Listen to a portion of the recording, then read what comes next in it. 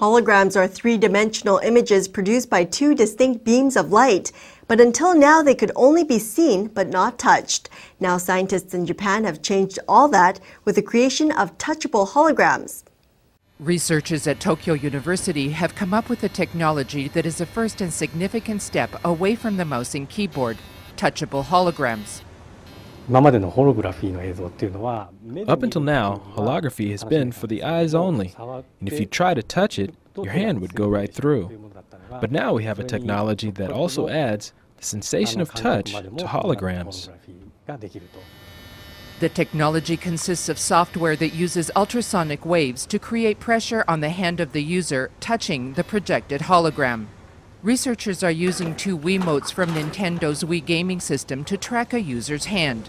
The technology was used at SIGGRAPH, an annual computer graphics conference, and has so far only been tested with relatively simple objects. But its inventors have big plans for touchable holograms in the future. For example, it's been shown that in hospitals, there can be contamination between people due to objects that are touched communally. But if you can change the switches and such into a virtual switch, then you no longer have worry about touch contamination. This is one application that's quite easy to see.